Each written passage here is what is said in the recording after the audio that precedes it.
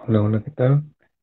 Estamos realizando un nuevo video sobre la cultura de la cancelación.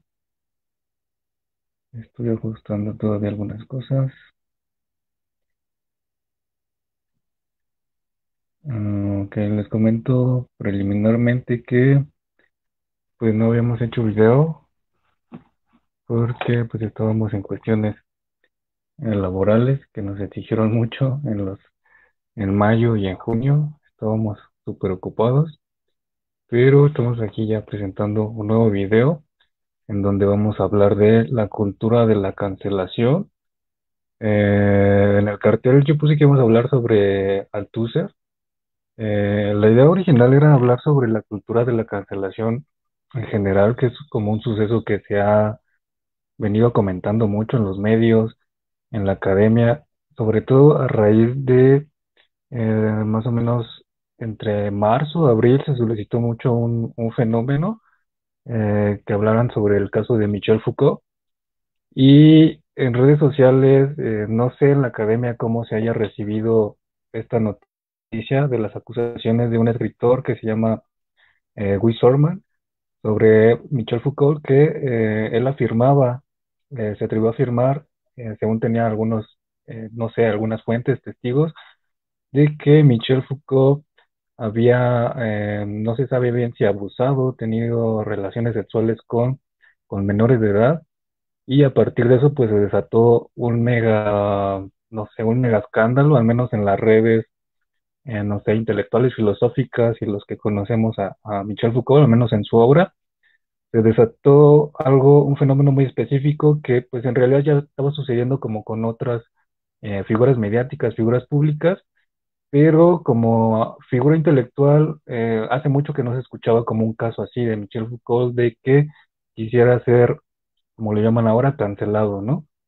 Inmediatamente yo vi muchos comentarios en Twitter, en Facebook, en que había personas, no sé qué tan en serio se lo hayan tomado, eso no, no me consta, pero comentando pues que ya de plano iban a, a dejar de leer a Michel Foucault por, por este, este fenómeno, ¿no? Eh, y curiosamente, en los últimos meses ya no se le ha dado seguimiento a esta nota, a esta- a este, eh, qué pasó con, con este escritor. Eh, muchos ni siquiera se cuestionaron quién era esta persona, quién era Guy Sorman. Eh, tengo entendido que es un, no sé historiador, filósofo, escritor francés, que eh, igual no me consta si trabajó directamente con Foucault, pero lo que pude investigar en los últimos, eh, de los últimos días es que eh, hubo una especie de comisión, una serie de, de académicos en Francia que eh, pues se intrigaron a esta misma acusación hacia Michel Foucault. Y, y de las notas, de lo poco que pude comprender de las notas que hay en francés, es que se le cuestionó al mismo Guy Sorman de dónde, cuál era su fuente, cuál era su, pues como su testimonio para afirmar que Michel Foucault este, había abusado de menores, ¿no? Y hasta lo que pude entender, pues no hay ninguna prueba sólida, ¿no? Incluso tuvo que afirmar él que esto era un rumor, ¿no? Que en realidad a él tampoco le consta 100% que lo que haya hecho Foucault, lo que sugería él, eh, haya sucedido, ¿no? Incluso se supone que él mismo, cuando dio la declaración sobre Michel Foucault, decía que su intención no era desprestigiar a Michel Foucault, decía que era un simple rumor que había escuchado por ahí de sus visitas a Argelia y que Michel Foucault pudo haber incurrido en un abuso de menores, pero pues que su objetivo no era eh, desprestigiar la obra de, Foucault, ¿no? Que valía la pena leerla, ¿no? Y, y bueno, esto es como lo que puso de nuevo en los medios, en no sé si académicos, en, en los factores mediáticos, en el mundo intelectual, la discusión sobre la cultura de la cancelación. Eh, está muy difícil rastrear de dónde viene como ese término de cultura de la cancelación. El otro día escuchaba, ah, yo no me acuerdo mucho de los nombres, pero algunos académicos, de, algunos eran de CEU, que hablaba- hablaban sobre este caso, ¿no? Profundizaron, eh, incluso socio- sociológicamente, ¿no? Hacían referencia a Durkheim, de que eh, lo extraño, los estigmas, varios, dieron varios fundamentos para eh, decir generalmente por qué tendemos a cancelar o por qué eh, ciertas cuestiones que escapan de nuestros códigos morales tendemos a, abiertamente a excluirlos, ¿no? Y, bueno, a raíz de esto yo me quise centrar en un caso histórico, en un caso histórico que tiene la ventaja de que como sucedió hace ya algunos años, nos pone ante el desafío interpretativo de decir eh, qué pasó con un personaje al que efectivamente sí cancelaron y que a diferencia de Michel Foucault, sí pudo hacer un escrito o una especie de defensa sobre su postura después de que eh, en, ese, en esos tiempos obviamente no existía ese término de cancelación, pero en la práctica sí hubo un ejercicio de cancelación intelectual, así lo puedo leer ahora, hacia eh, Louis Althusser. Eh, Althusser eh, es un autor pues muy conocido, un poco leído paradójicamente. Todos conocemos a Louis Althusser por eh, sus obras, sus ideas sobre los aparatos ideológicos de Estado, es una aportación marxista muy interesante también en, cierto modo ligada con la perspectiva de Antonio Gramsci, eh, discutiendo directamente con otros personajes eh, de la Francia del siglo XX, este, respondiendo a obras de Jean-Paul Sartre, entre otras figuras, ¿no? Eh, hace unos años, también por morbo y por cuál fue el motivo de que se haya cancelado a Louis Althusser, pues prácticamente el hecho concreto es que hacia 1980 ya en la fase madura de, su vida. Este, pues Louis Althusser eh, fácticamente asesinó a su esposa Hélène. Eh, su esposa ya habían convivido, mm, ellos pues no creían en un matrimonio formal, también Hélène era una especie de, activista muy importante en su época. Pasaron más de 30, cerca de 40 años este, juntos con, con sus respectivos problemas y broncas ahí que tuvieron pero hacia 1980, en un episodio que se describe de, algunos especulan si esquizofrenia o demencia, pero eh, Louis Althusser eh, ahorcó a su esposa, a Allen, y eh, a partir de ahí se suscitaron una serie de, pues, de desventuras, tanto para la biografía de Althusser como toda una sacudida en el mundo intelectual de Francia, ¿no? Eh, pues este filósofo marxista eh, escribió un libro, eh, tal vez no sabemos exactamente si esto lo concibe como un libro, si pensaba retocarlo más, pero este libro que vamos a comentar, El porvenir es largo, es parte de sus diarios, es parte de su reconstrucción autobiográfica que realizó Althusser eh, cerca de 1983, me parece que, leí en el prólogo, en donde él mismo trata de reconstruir, hacer un ejercicio de reflexividad muy, muy profunda y, muy dolorosa de, eh, pues, del fenómeno por el que lamentablemente todos lo conocían, ¿no? Por haber asesinado a su esposa, a su, a su compañera de vida, Helen. Y este libro el porvenir es largo, eh, pues en realidad no sabemos si fue concebido como libro. Eh, fue editado mm, con ayuda de su sobrino, que fue su heredero universal, François Baudard, hacia 1992, unos dos o tres años después de su muerte de Althusser, se dio a conocer esta serie de escritos.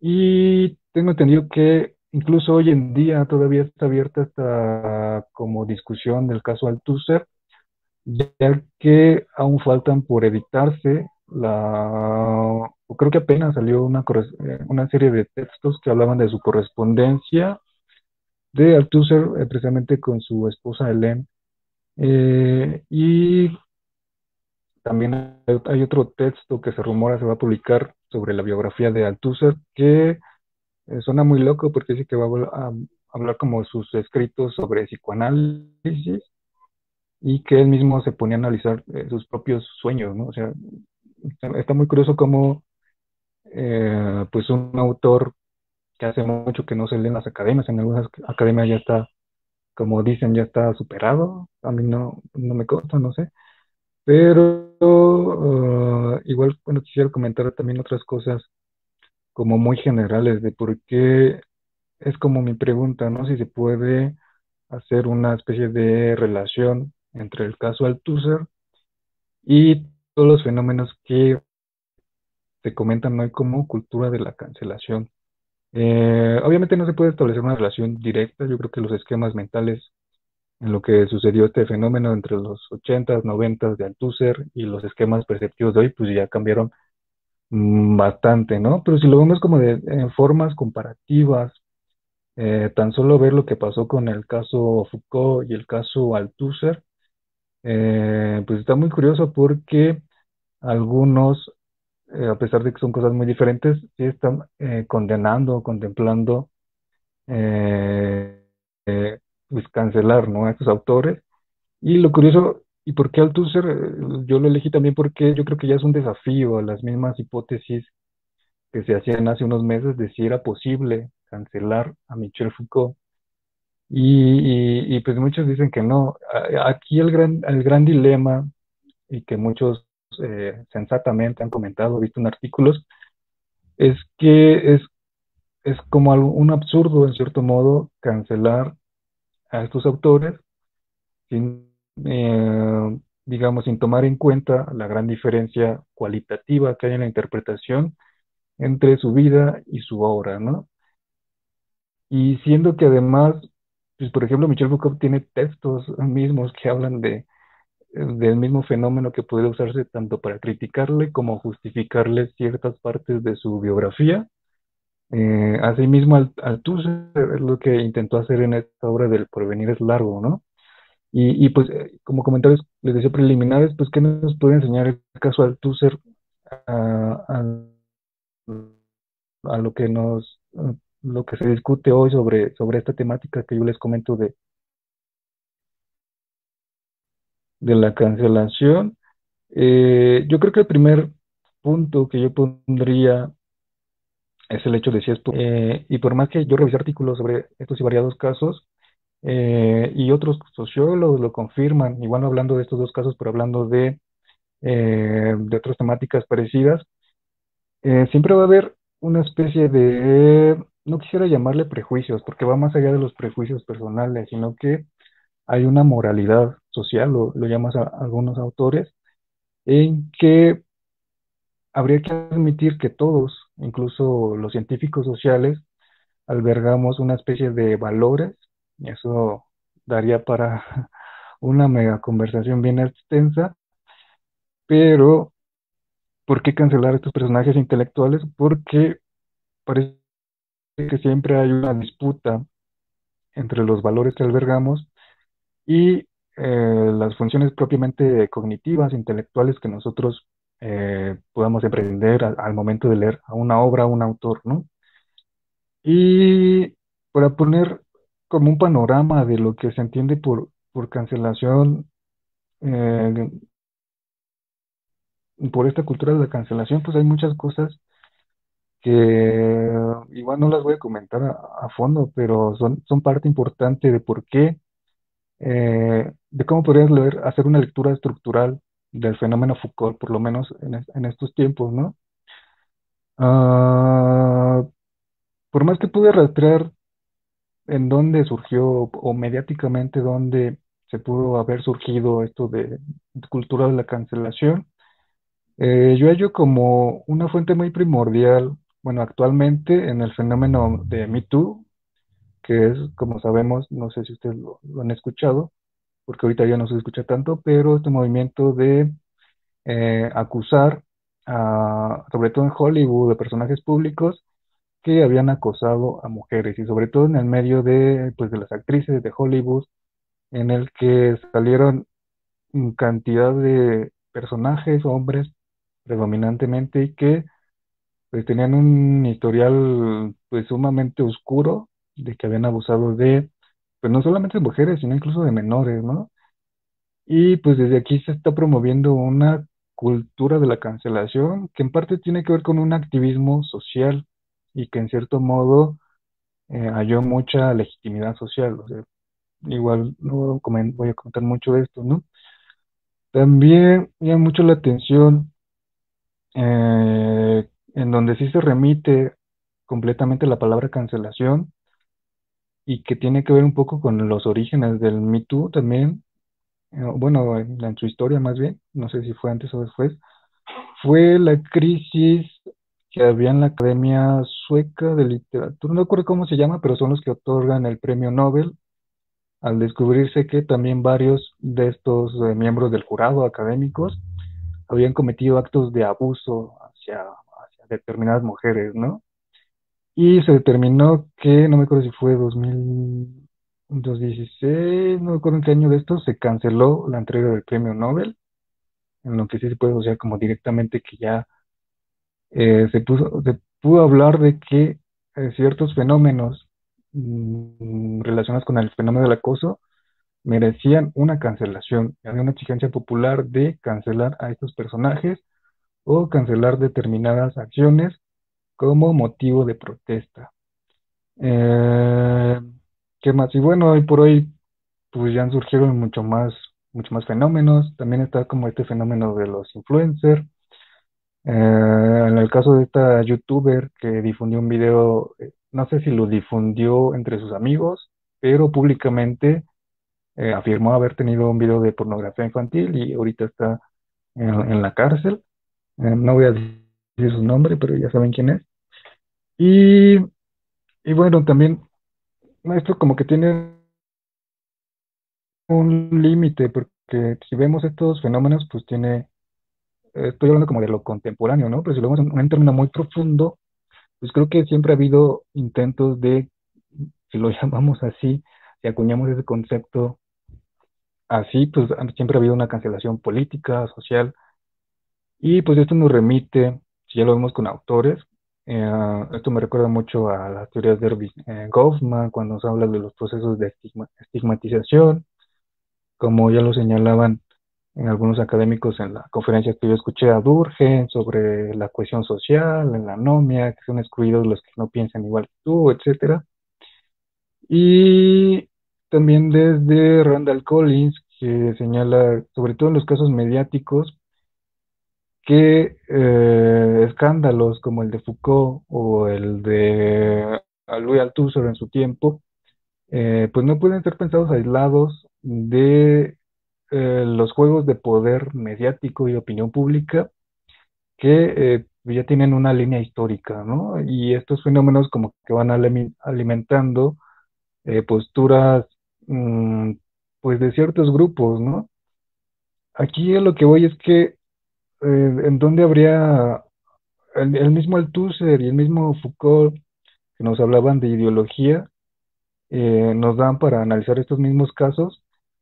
Eh, en el caso de Althusser sería, ver cómo el poder de la ideología, porque los medios de comunicación y la opinión pública representan esta ideología de ciertos grupos, logra doblegar eh, al campo intelectual. Yo creo que es lo que también está de fondo en estos dos casos, ¿no?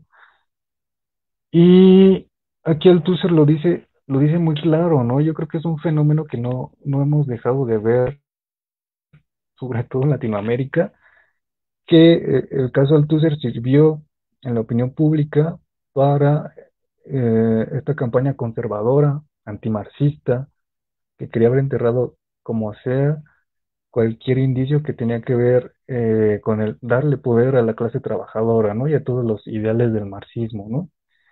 Eh, y lo que llama la atención, si ya me centro un poco volviendo a, lo que es el libro, es que eh, hubo una motivación principal mm, porque Luis Althusser escribió este libro, estas, estas anécdotas, que se supone que en 1980 85 eh, se hablaba en la opinión pública de un caso de un asesinato de un japonés que igual similar a su caso eh, se estableció el principio de no al lugar, es decir, este fenómeno de que no se le pudo condenar una pena, no, no se pudo condenar su asesinato porque eh, fue no estaban claras las condiciones de premeditación, o sea, si fue un estado como de psicosis, pues no se puede considerar como un delito, ¿no? Y ahí que, eh, bueno, concretamente Althusser fue recluido en un psiquiátrico,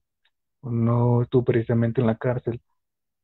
Y, y lo que hizo Luis Althusser fue como criticar la misma estructura que lo había condenado eh, el proceso judicial que ni siquiera tuvo y todo lo que pudo ver de su caso, eh, pues es primero concebir eh, pues el, gran dolor que sintió Althusser porque eh, la persona que él más había amado, a pesar de todos los conflictos y problemas que relata, comentaré un poco más adelante, pues él mismo se vio despojado de la persona que, que amaba y, y de una forma que él ni siquiera recuerda, ¿no? O sea, eh, y ahí se discute mucho moralmente, ¿no? Si fue como especie de accidente, si fue un auténtico episodio de, de locura, pero a- independientemente de eso, del hecho concreto que se pudo haber judicializado y lo que sea, hay una parte de Althusser que reconstruye sus mismos hechos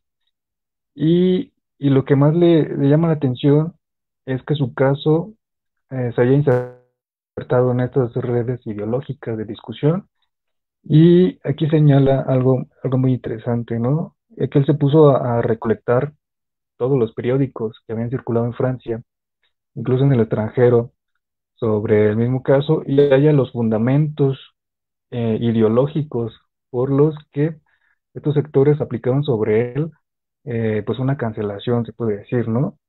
Y, y se da cuenta que en realidad, eh, más que un trasfondo moral en que se pudiera discernir claramente, eh, pues él leyó que había toda una estructura de poder.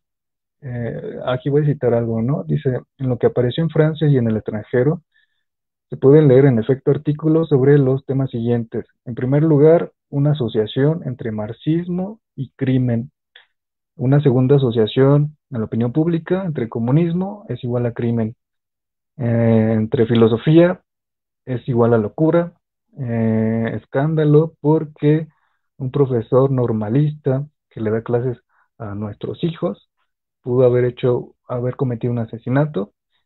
Y quinto, un escándalo porque un individuo, un criminal, se haya podido beneficiar de la protección abierta del establishment. Aquí concretamente se, refiere a que Louis Althusser pues estaba como en la institución educativa superior pues, de más renombre, ¿no? La escuela normal de Francia, donde pues estaban los grandes filósofos también y otros, otros personajes de ciencias sociales, ¿no?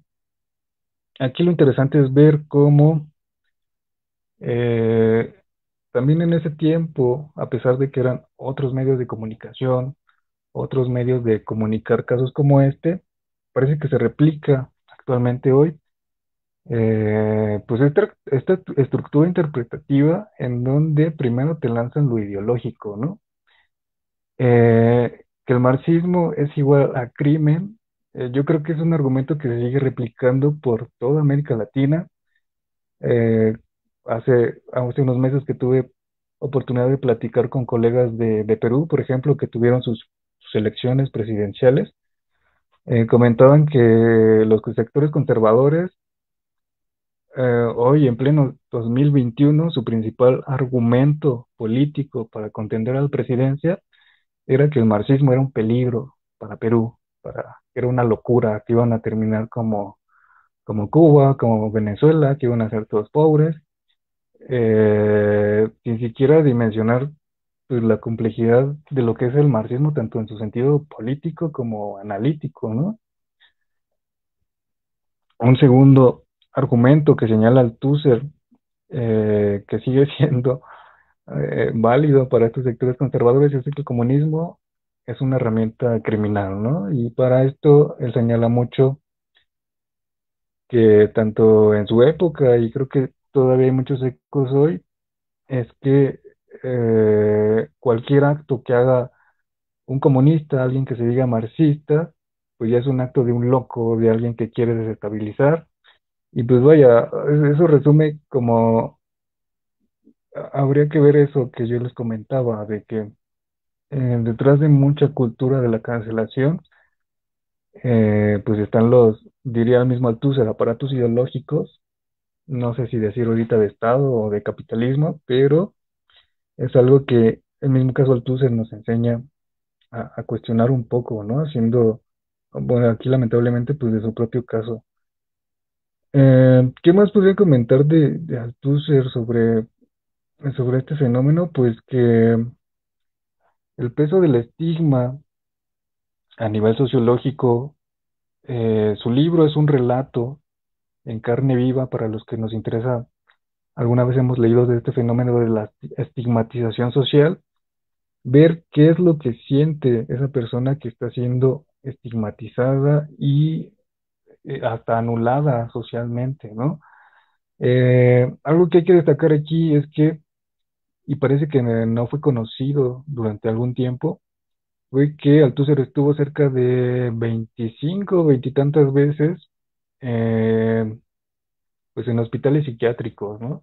No solamente como consultita, sino realmente internado, incluso tratado muchas veces con electrochoques y también con el trauma de haber vivido en cautiverio eh, durante la Segunda Guerra Mundial, un periodo de cinco años en cautiverio, ¿no? Y, todos estos elementos biográficos también van consolidando la narrativa propia de Althusser, que pues en cierto modo no intenta justificar, pero eh, también lo leía en un artículo, eh, todo este libro es como un concierto de, de, argumentaciones, de reflexiones, que hacen ver que el estigmatizado todavía tiene voz, todavía tiene algo que decir, a pesar de que todo el aparato judicial, jurídico, estatal, incluso de la, de la prensa, de la opinión pública, eh, esté en su contra, ¿no? Eso es lo que eh, también se rescata mucho de una obra como Louis Althusser. Y, y, lo más, pues lo más curioso es que eh, también como en esta parte de la reflexión sobre la cancelación intelectual, pues en cierto modo se demuestra que estos argumentos, eh, que igual fueron conocidos muchos después, por la gente realmente sensata, eh, fueron considerados como, pues, no sé cómo decirlo, apenas están siendo considerados más bien, ¿no? Y, y hace muchos, eh, hace unos meses del caso Foucault que se preguntaba si era realmente posible cancelarlo, yo me remitiría a una respuesta que tiene que ver con el caso Althusser, de que a pesar de, que a él sí se le pudo demostrar pues este asesinato, esta, eh, pues este crimen, toda esa condena, eh, la valía de su obra pues sigue siendo importante, ¿no? Quizá, como yo decía, hoy no se lee tanto a Louis Althusser, pero sabes que fue un referente para todo, toda la, la red intelectual que en su tiempo hubo en Francia, ¿no? Y, y, yo creo que esto demuestra lo absurdo eh, de querer cancelar, por lo menos en el sentido intelectual, a un autor, ¿no? Y, creo que en parte es lo que, en parte quiero establecer como el punto crítico, porque quizá, ah, bueno, ya mi experiencia de estudiante fue hace algunos años, pero pues era, era muy común y yo con personas que son estudiantes ahora, Veo que es un argumento muy común que las personas ya no quieran leer a un autor porque no concuerdan o no se les hace moralmente ético algún episodio de su vida, ¿no? Y, lo que, bueno, suena frívolo decir esto, pero yo que estoy desde la sociología del conocimiento, de los intelectuales, que he visto metodologías para abordar la biografía y la obra de autores, eh, pues perdón, pero se me hace un poco absurdo cuando me comentan que ya no voy a leer a Marx porque eh, su papá era un burgués, ¿no? O no voy a leer a porque su papá era un burgués, ¿no? O no voy a leer a tal autor porque este, tenía a su esposa como ama de casa, ¿no? Y él todo un intelectual, ¿no? Y, yo creo que hacer una lectura y reflexionar seriamente sobre los papeles de los intelectuales, que también tiene mucho de criticable, no digo que no, eh, sería ver qué, cultura lectora interpretativa estamos formando nosotros, ¿no? Eh, lo que discutía con una amiga historiadora, lo hemos discutido varias veces, eh, pues en primer lugar habría que cuestionar nuestros filtros actuales de interpretación que están posibilitando que se haga una cultura de la cancelación, muchas veces sin justificar para nada, ¿no? Eh, pues ella me comentaba que pues obviamente lo parte más de la ignorancia que de un conocimiento, querer eh, acusar en personajes del pasado eh, actitudes que solamente son válidas ahora, ¿no? Eh, no sé, por ejemplo, condenar a figuras del pasado porque no eran feministas o porque no eran veganos o porque no eran parte de un movimiento social que se fundaron muchos años después, es como el colmo de un poco del absurdo, ¿no? Y que serían los puntos para empezar a cuestionar hacia dónde nos está llevando una cultura de la cancelación simplemente por, por sostenerla, porque está ahí, porque podemos acceder a ella. Y porque, esto lo comentaban en la conferencia, porque en la conferencia que yo vi, ahorita les comento cuál fue, eh, que fue el hecho de que esto se empezó un poco a cambiar con las redes sociales, porque todas las opciones que tenemos ahí de dejar de seguir, dejar de darle like, dejar de ver, eh, cancelar suscripción, nos hacen sentir que tenemos el poder eh, de anular a las personas, ¿no? Y a lo mejor ni siquiera estamos como anulando a las personas, sino a ciertas partes de sus actitudes, pero condenamos como totalmente todo lo, incluso lo que no conocemos de esa, de esa persona, ¿no? Y, y como mencionaba hace rato, ¿no? En cierto modo sí es justificable, porque pues sí hay muchas personas eh, que son dignas de criticarles sus actitudes, o si de plano ya te hacen daño, pues alejarte lo más posible de ellas, pero eh, yo creo que no hay que llevarlo a un punto de exageración en que decir no, no me gusta que tú comas sopa y porque yo no como, te cancelo, ¿no? Es como que eh, es parte de, de algunas discusiones que he tenido con, con algunos colegas y amigos últimamente, ¿no? Eh, y, y creo que, bueno, ya me entendí mucho de por qué, por qué relacionar al Tusser con la cultura de la cancelación, pero también me falta un poco comentar de por qué revalorar a sí mismo al Tusser, ¿no? Eh, pues en primer lugar, más que, el argumento propiamente académico o de los temas que aportó, eh, como les comentaba, verlo desde una sociología de, de los intelectuales, eh, yo creo que esta perspectiva está súper escasa en México, ¿no? Y yo recuerdo que en unos primeros momentos, cuando yo me interesé por esta postura, eh, no falta el típico comentario de Uh, ¿cómo- cómo? Es que han sido muchas formas de expresarlo, pero por ejemplo me han dicho de que la sociología del conocimiento de los intelectuales intenta hacer una metateoría o intenta hacer algo que está más arriba eh, del conocimiento, pero en realidad no, en realidad eh, muchos de los libros que analizan esta perspectiva se encargan de ver la faceta humana, cotidiana y de pues sentido común, que no era nada intelectual, que tuvieron muchos personajes que posteriormente fueron concebidos como intelectuales o escritores, escritoras, y que pues también vivían pues una vida, aparte como cualquier, cualquiera puede tener una vida con todos sus altibajos, con todos sus cambios emocionales, con toda la irracionalidad con la que se puede vivir una vida cotidiana, pues también las grandes figuras, o las que se consideran grandes figuras, pues también han vivido esa parte, ¿no? Y, y, también en parte es un poco desmitificar toda esta figura del intelectual eh, que no se critica, que no se toca, que, que es sobrehumano, ¿no? Eso es como que, como un punto de entrada a, ver esta rama disciplinaria, ¿no? Y particularmente el caso de Althusser considero que merece ser explorado precisamente porque arrastra con todos los estigmas de lo que en su tiempo se consideró que un intelectual no debe ser. Eh, y el ejemplo muy claro es ponerlo en contraposición, pues, con, mm, con su figura contemporánea, con Sartre. Eh, como sabemos, pues, Jean-Paul Sartre es como la figura por excelencia intelectual del siglo XX. Eh, y Althusser también estaba en ese rango, también estaba en ese rango de los personajes que eran referencia obligada a leer para conocer una perspectiva crítica del marxismo, ¿no? Y esto pues no podría entenderse sin las redes de oposición que también existían en la Francia, en el campo filosófico, ¿no?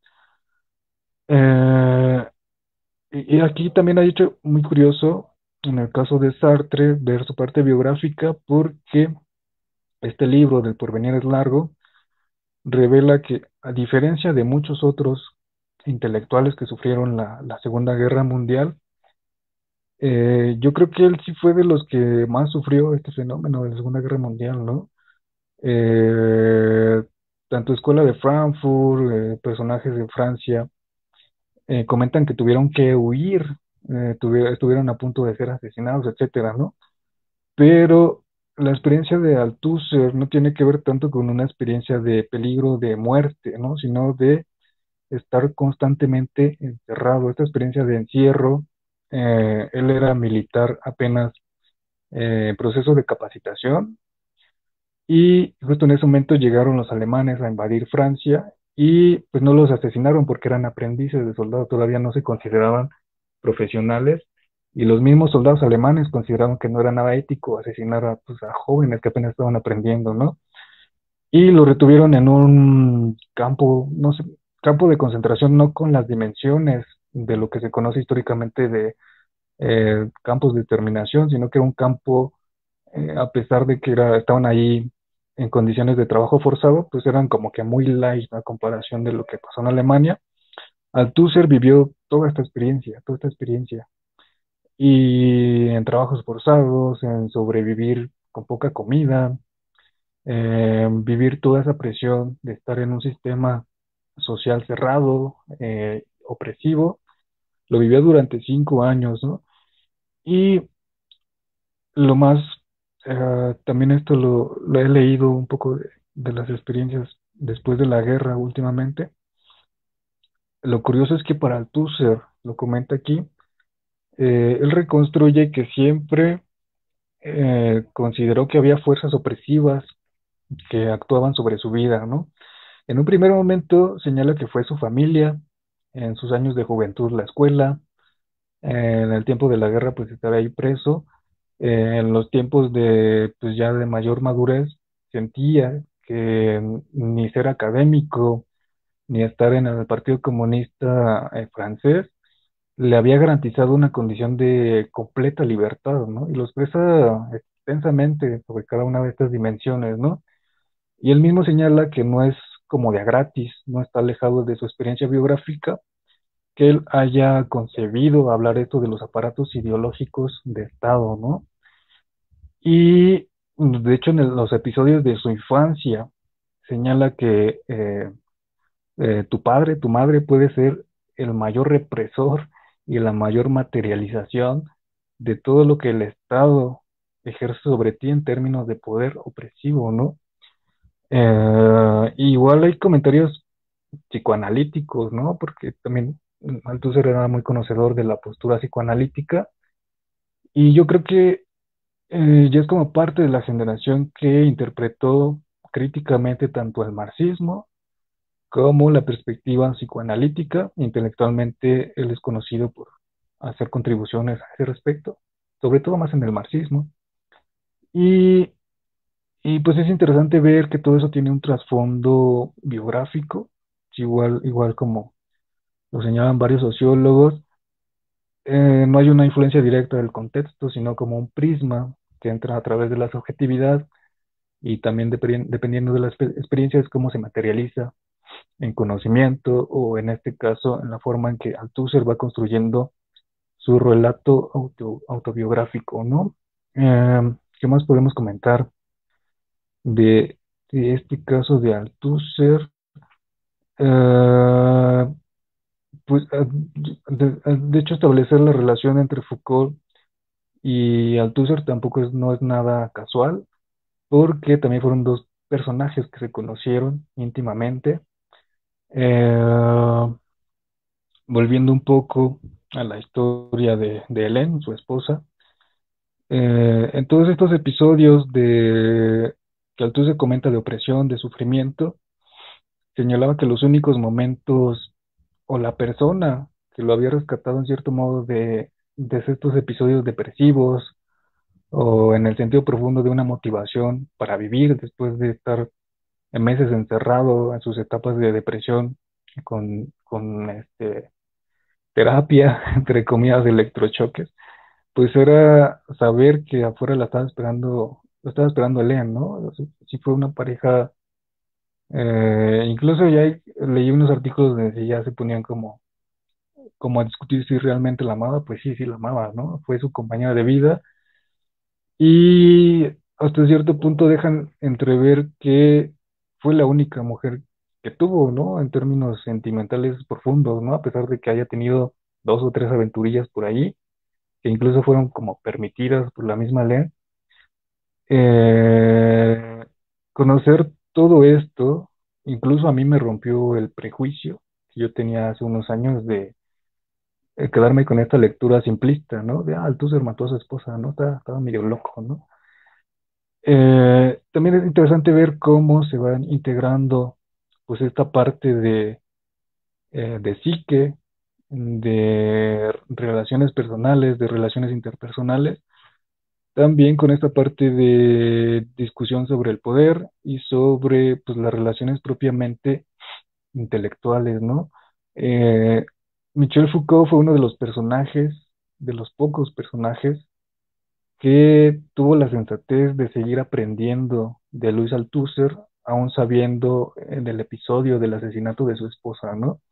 Comenta que lo iba a visitar eh, por un, por un periodo de tiempo cada semana, cada que Michel Foucault podía, porque pues en cierto modo Foucault le reconocía que fue uno de sus, de sus maestros y de sus contemporáneos pues, con los que más sentía eh, más afinidad, ¿no?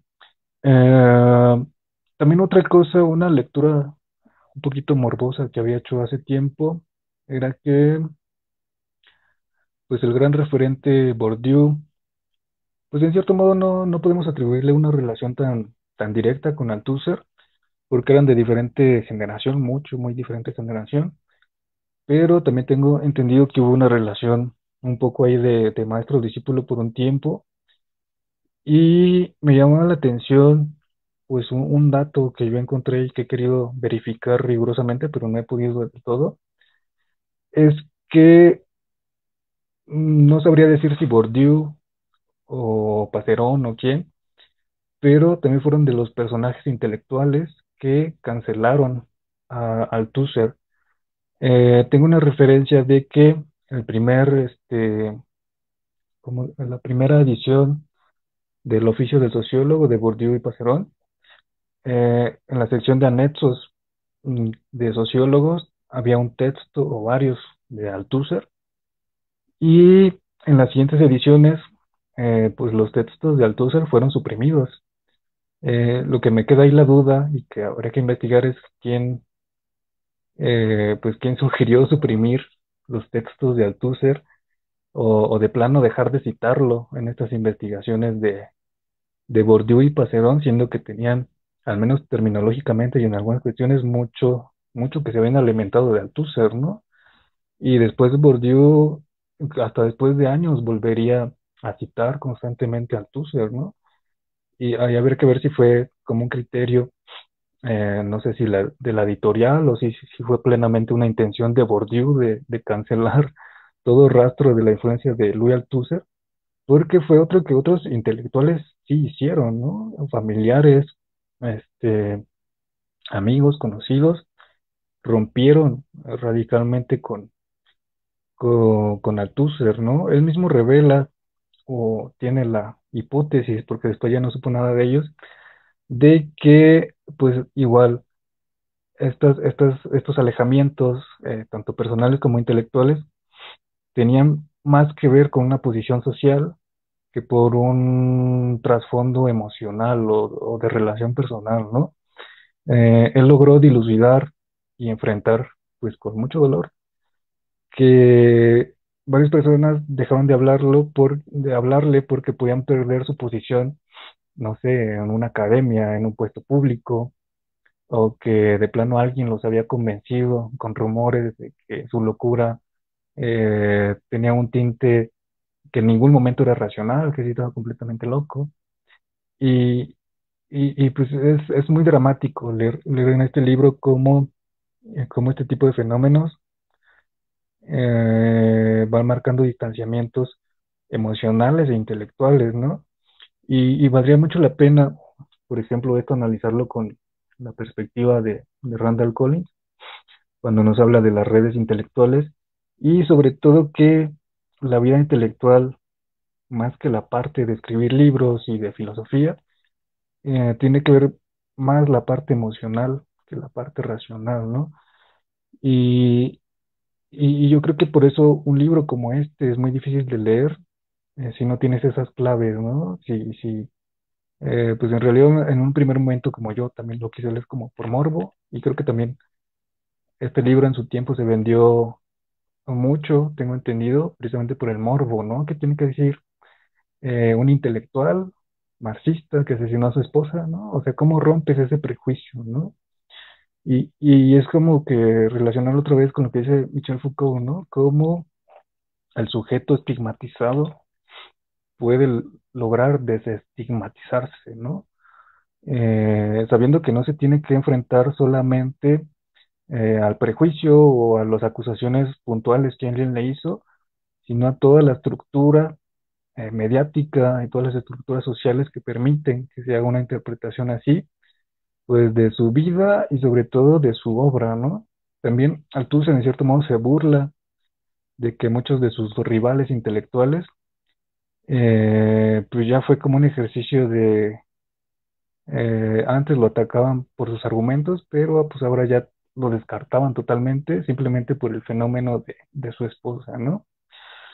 Y igual para ya no hacer tanto largo el video, también yo quisiera rescatar mucho eh, pues el papel de Len, o sea, mm, si bien este libro fue conocido por, por el caso Althusser y hablar de Althusser, Althusser, Althusser, eh, yo creo que el mismo autor sufrió eh, el hecho de que Helen eh, no fuera suficientemente reconocida, ¿no?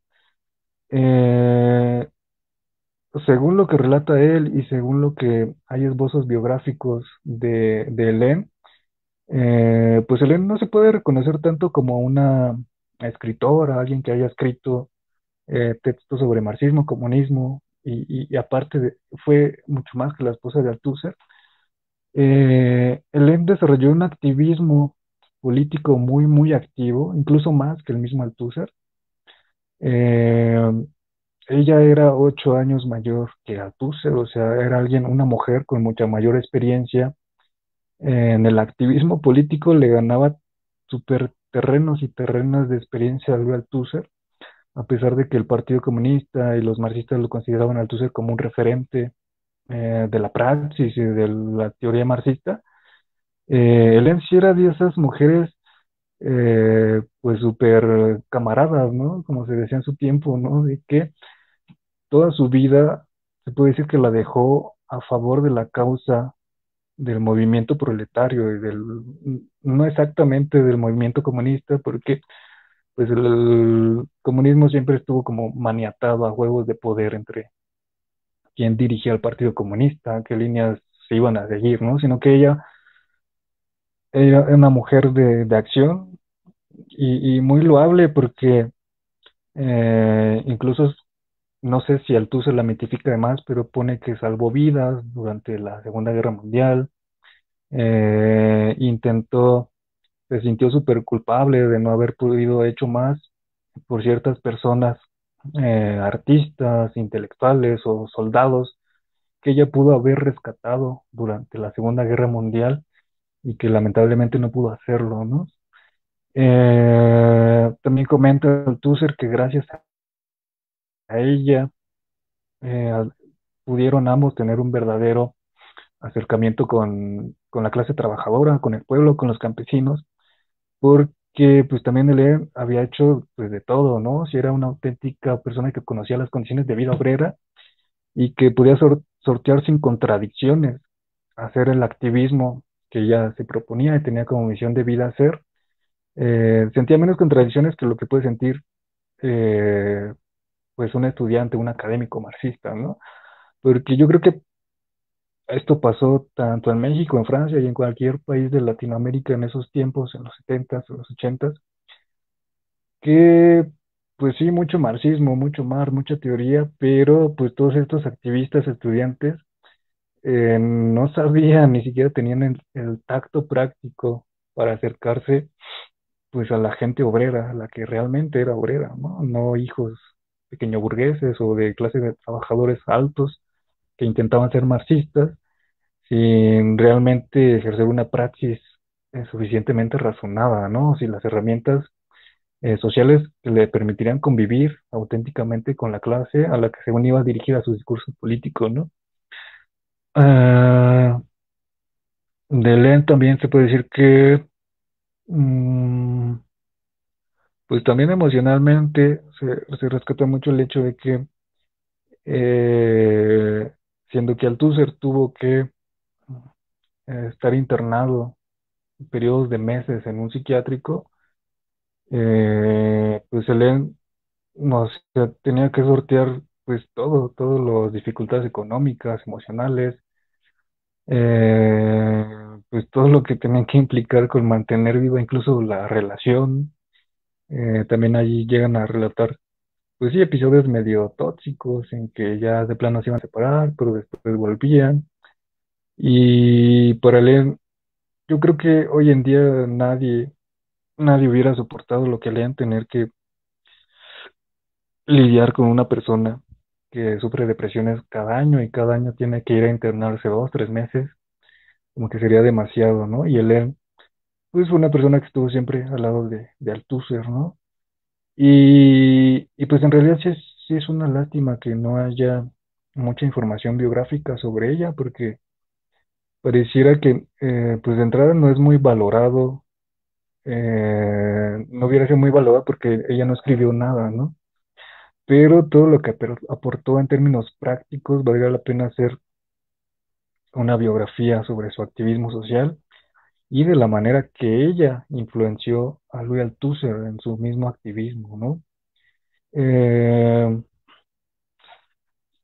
¿qué más puedo comentar? Bueno, creo que ya abordé casi todo lo que quería comentar. Eh,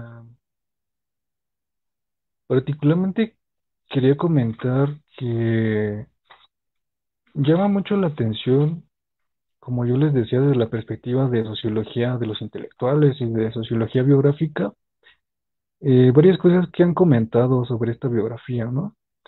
Eh, yo creo que en primer lugar no se puede tomar como una completa autobiografía porque eh, pues como señala el mismo Bourdieu, ¿no? Cuando hacemos un intento autobiográfico, pues ya estamos definidos por nuestra perspectiva presente o última de nuestros episodios, ¿no?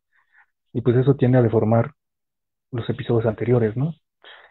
Eh, concretamente, las deficiencias que hay para analizar esta obra, o que no serían suficientes, habría que complementarla con otras o con otro tipo de información, es que esta autobiografía responde, como les decía al principio, a un intento de justificación y reconstrucción del el asesinato, ¿no? Eh, no tenemos una visión de Althusser que diga eh, cómo se incorporó al Partido Comunista detalles, sino más de las sensaciones de exclusión o de inclusión que le hacían sentir o del mundo intelectual. Eh, no hay una descripción que te diga detalladamente cuáles fueron como los condicionantes sociales eh, incluso emocionales que lo llevaron a hacer, eh, pues, no sé, determinadas cosas. Eh, también está muy ensombrecida pues, la relación con sus padres, porque también ya de plano hay una relación narrativa muy emocional ahí que, borra, muchas cosas de lo que realmente pudo haber sucedido, pero pues sería pues un comienzo para, como les decía, entrar para revalorar Althusser y Alem como, como activistas intelectuales. Eh, hace poco me enteré, bueno, no sé si han seguido los videos pasados. En abril entrevisté al profesor eh, José Luis Moreno Pestaña y hace no mucho vi que él escribió un artículo sobre Althusser, precisamente con la intención de, revalorar un poco de, de su obra. No sé si en un futuro él vaya a sacar un artículo al respecto. Es lo que, lo que entendí. Y hay una biógrafa de Althusser que lamentablemente todavía no se traduce en español. eh, Jean Muller Boutang, no sé de qué nacionalidad es, pero tiene una biografía que hasta el momento es la más completa de Althusser. Obviamente este ejercicio autobiográfico pues habría que complementarlo con lo que, lo que investigó esta, esta biógrafa de, de Althusser, ver qué más ella encontró. Y en internet hay una, hay dos artículos que comentan precisamente esta hora del porvenir largo. Eh, uno de ellos de verdad sí se me hizo un poco tedioso, aunque aporta cosas muy valiosas. Se me hizo tedioso porque se va mucho a las ideas y como que hay un intento de psicoanalizar mucho al Tusser por, por, por vías que me parece que a mí no, no van, o al menos no van como la interpretación tan, tan sociológica, ¿no? Y qué más, yo creo que ahí cerraría lo que tengo que decir sobre este libro. Eh, la motivación, como yo les decía, y les hago como el resumen, fue primero romper el morbo, porque yo conocía que Althusser había conocido, había asesinado a su esposa, pero creo que yo mismo hice un ejercicio de cuestionamiento de mis mismos prejuicios a ese respecto. Y sabiendo que si existía este libro, es como, bueno, ¿qué tiene que decir Althusser, no? ¿Cuál es su perspectiva, no? Porque parece que nos es más fácil condenar un acto moral de ese calibre que comprender el contexto en que sucedió ese fenómeno y lo que hay detrás, ¿no? Todo lo que hay de sociológico detrás. Eh, y sobre todo viendo los fenómenos contemporáneos, que les, también les iba a comentar de otro caso contemporáneo que, que yo vi por ahí en la farándula. Hay un actor, ah, no sé cómo se llama este actor, Eleazar, no sé qué, salía en una novela ahí hace tiempo, de adolescentes, pero entre hace tres o dos años eh, se conoció que era que golpeaba a su novia, algo así. Y hace unos meses salió que mm, hacían mucho escándalo porque eh, pues esta exnovia, eh, digamos que habían llegado a un acuerdo legal para que él saliera de la cárcel y enfrentara otro tipo de proceso, ¿no? Eh, lo que leía en esta nota de farándula, sí, suena, suena muy cagado, ¿no? Pero eh, algunos decían, no, ¿cómo es posible si violentó a su novia, porque lo dejan libre, etcétera, ¿no? Y, y yo creo que nadie, nadie, o pocos medios comentaron cuál era el acuerdo legal al que se había llegado. Y creo que sí hubo una indemnización, pero más allá del dinero, eh, este sujeto, este actor se iba a comprometer a, a llevar un tratamiento psicológico o psiquiátrico, pues de una manera muy constante, ¿no? Cada semana, cada dos semanas tenía que someterse a estas evaluaciones psicológicas, igual con el objetivo de que él pudiera reconstruir como su vida, ¿no? Y que realmente ya no volviera a agredir a otra mujer, ¿no? Eso es lo que me sorprendió que eso no se comentara tanto, ¿no?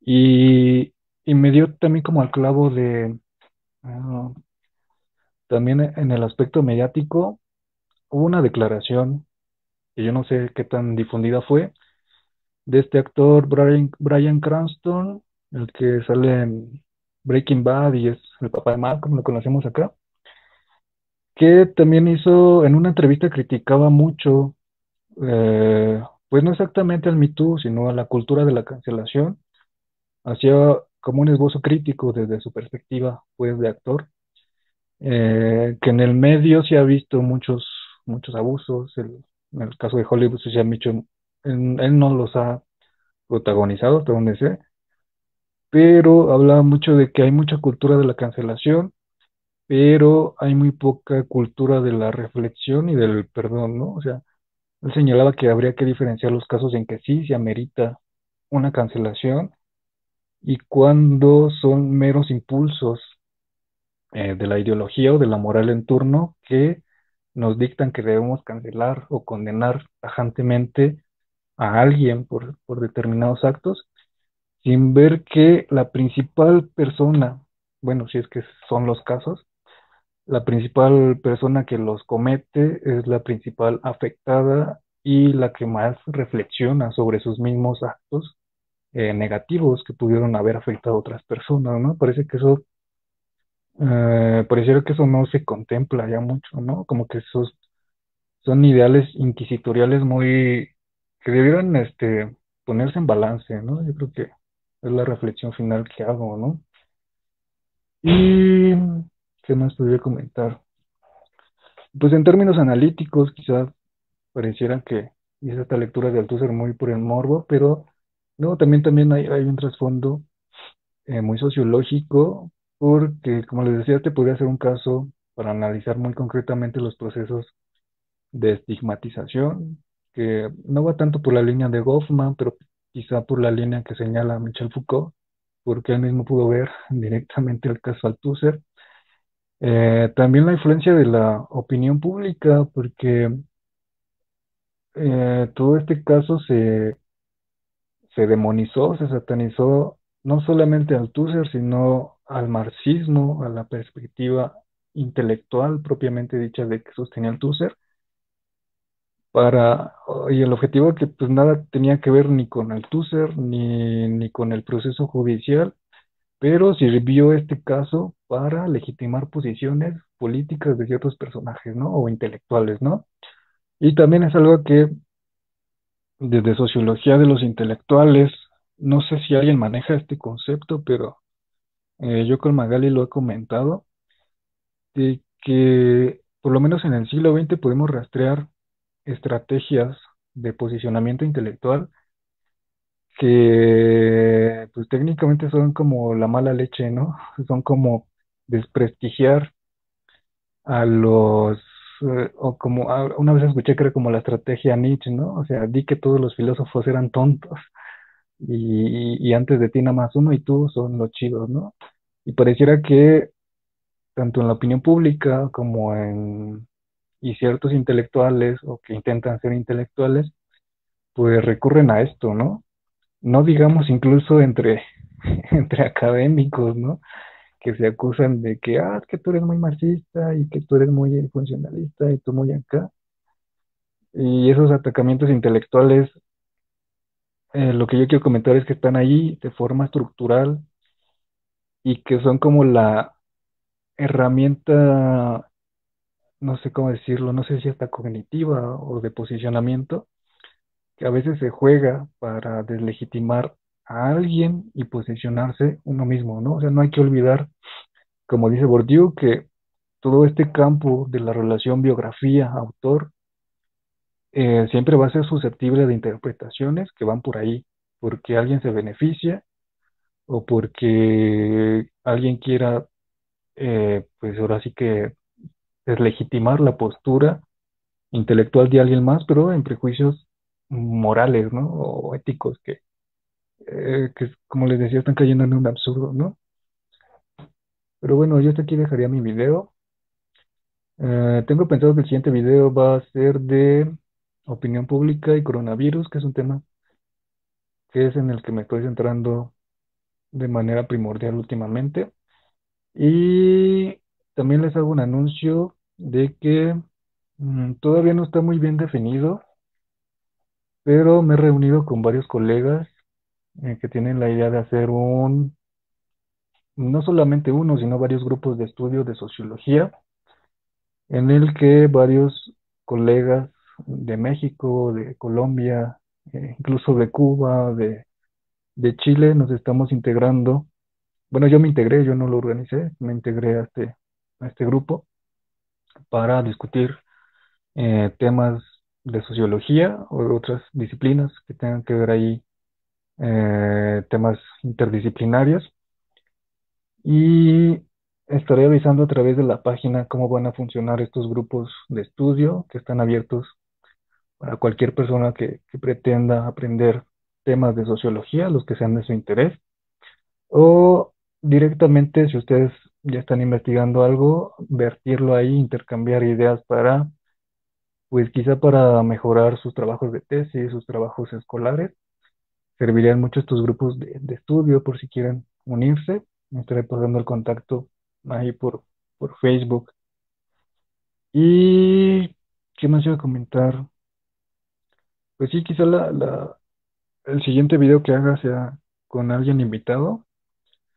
Eh, esta vez no pude invitar a nadie porque pues en los en los medios académicos todos me decían que estaban ocupados con sus trabajos finales o los que ya son profesores evaluando y que pues no tenía como mucho tiempo de, pues, de preparar algo, ¿no? O, sea, o quizás sí, pero no con la suficiente confianza, ¿no? Y pues yo hasta aquí lo dejo, ahora no vi comentarios, pero ya si quieren, cuando vean este video en, subido en YouTube, pueden dejar un comentario y pues ahí estarían expresando como sus ideas de, de lo que piensan de, pues, de estos casos, ¿no? ¿Qué piensan ustedes de la cultura de la cancelación?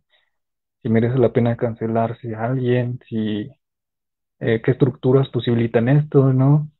¿Qué piensan sobre Althusser? Si lo han leído, si sabían estos episodios de su vida, o qué piensan del caso Foucault, que todavía no se resuelve, no se esclarece totalmente, totalmente por qué hubo este revuelo. Algunos lo atribuyen pues a una corriente conservadora en los medios de comunicación que pues tratan de borrar cualquier autor que le suene subversivo. Mm, no sé si a escribirme esa teoría o no. O mm, pues díganos qué piensan de, de si se quieren unir a estos grupos de estudio. Eh, ¿qué más iba a comentar? Ah, sí, que yo hice un mini sondeo para ejercitar esta parte reflexiva en el que dije cuáles son los personajes que los mismos sociólogos cancelamos o de plano si tenemos prejuicios, creo que muy justificados. Y creo que uno de los personajes que más tendemos a cancelar o no querer leer es Enrique Krause. creo que algunos entenderán por qué.